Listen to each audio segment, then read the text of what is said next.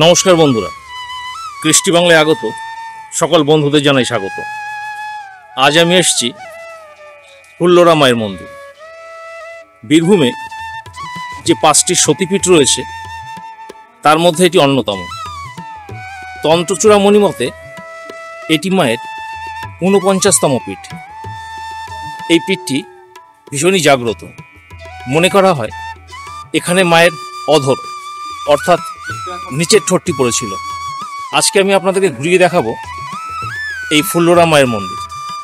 সঙ্গে থাকবেন।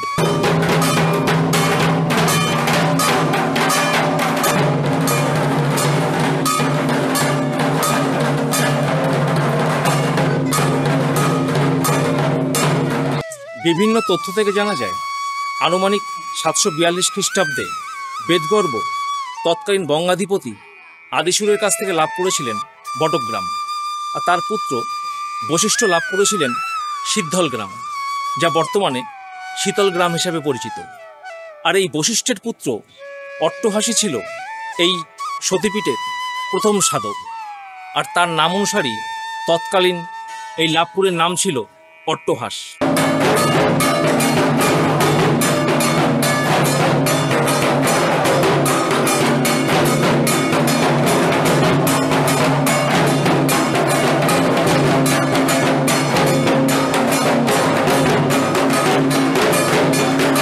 আপনাদেরকে আগেই বলেছি, এই সতীপীঠের প্রথম সাধক ছিলেন অট্টহাস। অট্টহাসের পূর্বপুরুষ বর্মন রাজাদের মহাসন্ধি বিগ্রহী অর্থাৎ minister of war and peace, Bhabadeb Bhatta, কনস থেকে মতান্তরে মিথিলা থেকে বিতাড়িত বেশ কিছু বেদানুসারী ব্রাহ্মণকে তাদের আরাধ্য দেবী মা ফুল্লরাকে পুজো করবার জন্য তাদেরকে পূজারী হিসাবে এখানে নিয়োগ করেছিলেন। তারও দুশো বছর পর এই মিথিলা ব্রাহ্মণদের মধ্যে একজন, দীনমণি মিশ্র। তিনি অত্যন্ত প্রভাবশালী রাজা হিসাবে আত্মপ্রকাশ করেন। শোনা যায়, এই দীনমণি মিশ্র রাজত্বকালেই তার সাম্রাজ্য ধ্বংস হয়। ধ্বংস হয় মা ফুল্লরার মন্দিরও।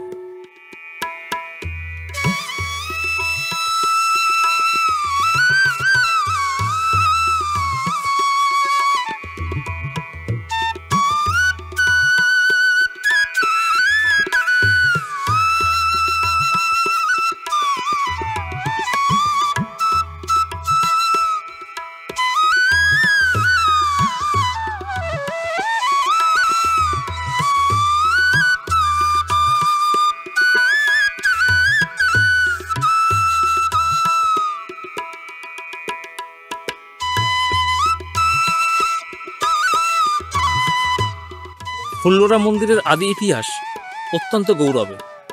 জানা যায় পালবংশীয় রাজা নয়পাল বা তার পুত্র তৃতীয় বিগ্রহপাল আনুমানিক হাজার সাতাশ থেকে সত্তর খ্রিস্টাব্দের মধ্যবর্তী কোনো এক সময় মা ফুল্লরার মন্দির নির্মাণ করেন। জানা যায়, এই মন্দিরের চূড়ায় একসময় স্বর্ণ কলস শোভা পেত।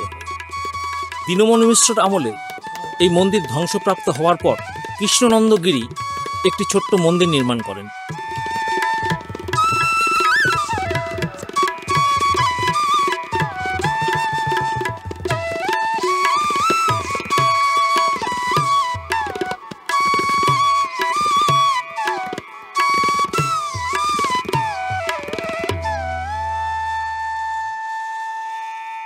প্রাচীনকালে কাশীর মণিকার্ণিকা ঘাটে তপস্যা করবার সময় স্বপ্নাদেশ পান এই কৃষ্ণনন্দগিরি।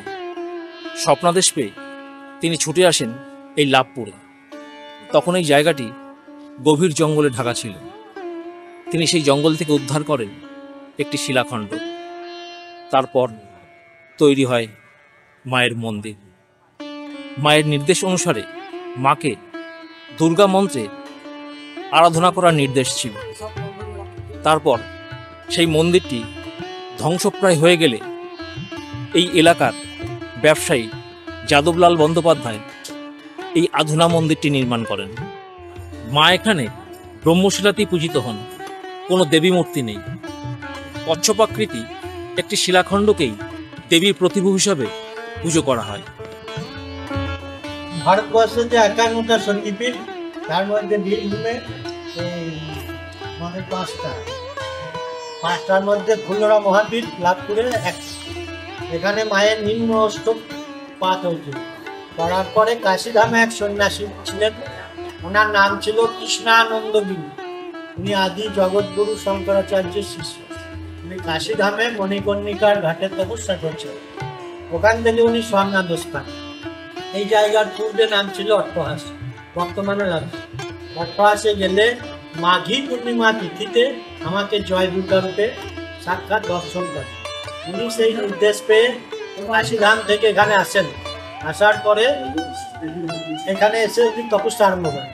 মা মাঘী পূর্ণিমা তিথিতে ওনাকে এখানে জয় দুর্গা রূপে দর্শন দেন তারপরে মায়ের অষ্ট এই স্বয়ংভূ শিলায় পরিণত হয় সেই শিলার ওপরেই যুগ যুগ ধরে পুজো হয়ে আসছে। আর এনার যিনি ভৈরব, তার নাম হচ্ছে বিশ্বেষ দেবী ফুল্লরা, ভৈরব বিশ্বেষ দেবী ফুল্লরার ভৈরব বিশ্বাস।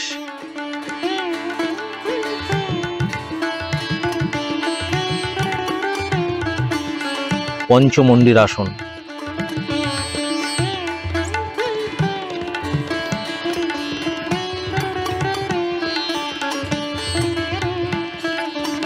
দেবী ফুল্লরার ভোগ রান্নার ঘর।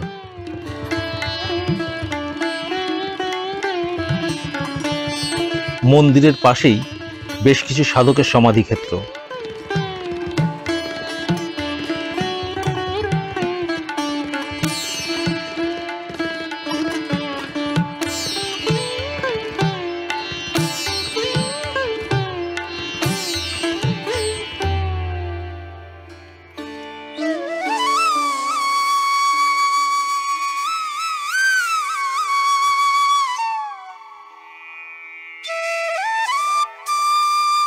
তুলসী মঞ্চ।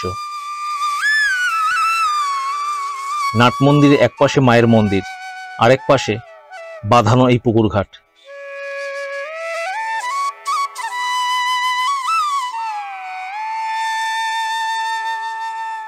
মনোরম পরিবেশ, অপূর্ব সুন্দর জায়গা। এই পুকুরের চারিদিক ঘেরা রয়েছে এমন সুন্দর টাইলসের তৈরি হাঁটা পথ দিয়ে। এক কথায় অসাধারণ। ভোজনালয়।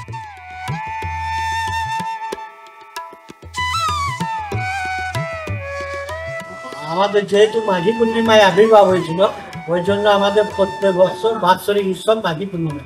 তখন আমাদের বড় আকারে মেলা হয়। মাঘী পূর্ণিমা থেকে শিবরাত্রি পনেরো দিন বড় মেলা হয়, প্রচুর অনুষ্ঠান হয়। আর প্রচুর যাত্রী সমাগম হয়। আর আমাদের এমনি দুর্গা পুজো ত্রয়োদশী বিপত্তারিণী, এরকম কতগুলো নির্দিষ্ট দিন আছে সেগুলোতে প্রচুর যাত্রী সমাগম হয়। তাছাড়া বাইরে থেকে প্রচুর যাত্রী আসে, এখন এখানে থাকার গেস্ট হাউস হয়ে গেছে। দূরে দেখতে পাচ্ছেন অতিথি নিবাস।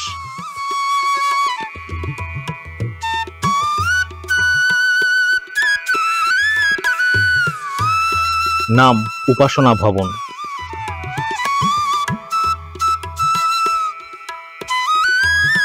রয়েছে পর্যাপ্ত গাড়ি রাখার পার্কিং এর ব্যবস্থা।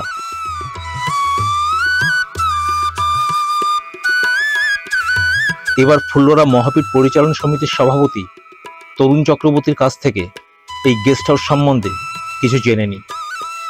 এখানে আপনার উপাসনা ভবনের আমাদের মানে এটা আটটা রুম আছে। সবটাই দ্বিতল আটটা রুম আছে এবং আপনার নন এসি যেগুলো, সেগুলো ছশো টাকা, আর এসি হাজার টাকা। আর চেক আউট আছে দশটা টু দশটা। এখানে দিনে বেশিরভাগ যারা থাকে, তারা মায়ের এখানে আসেন মায়ের ভোগ খেয়ে নেন। আর পাশে একটা ছোট করে হোটেল আছে বা আমাদের নিচেও একটা ক্যান্টিন আছে, বললে তারা রাত্রে খাওয়ার ব্যবস্থা করে দেয়। যতগুলো রুম আছে, সবই ডবল বেড এবার কথা হলো, আপনারা এই মন্দিরে কীভাবে আসবেন?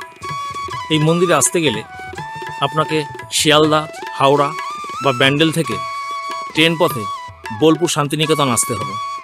তারপর বোলপুর থেকে বাসে করে লাভপুর।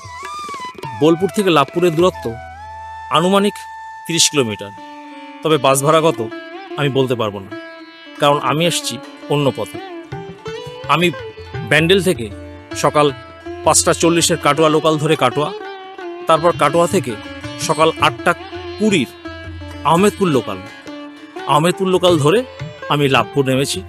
লাভপুর থেকে অটো করে সোজাই মন্দির, ভাড়া দশ টাকা। বন্ধুরা, ভিডিওটি যদি ভালো লাগে, তাহলে অবশ্যই লাইক করবেন আর চ্যানেলটি সাবস্ক্রাইব করবেন। আর সম্ভব হলে বন্ধু বান্ধবদের মধ্যে অবশ্যই ভিডিওটি শেয়ার করবেন। দেখা হচ্ছে পরবর্তী এক নতুন ভিডিওতে। ভালো থাকবেন। ধন্যবাদ।